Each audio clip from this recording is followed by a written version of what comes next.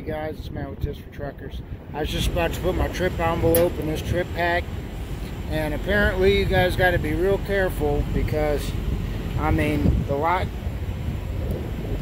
the lock isn't even working on this one, and who knows how many trip packs got blown out of here. It's a windy day, and I told Pilot here, and Pilot did not want to do anything about it. They just, oh, I'll just shut it, you know but it keeps blowing back open. And they wouldn't put it inside this would make most sense to me or anything. So I am donating this bungee cord wrapping it around there because apparently pilot don't care.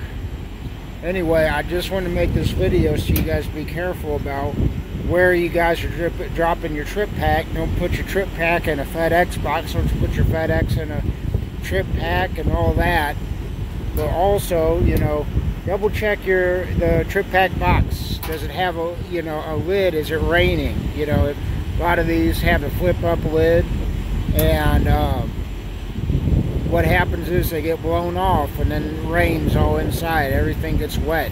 So you want to protect your bill of lading. You want to make sure your bill of lading stays intact and all your receipts and everything. So be very careful about where you're putting putting that when you send it off. Now with Tips for Truckers. Have a great day.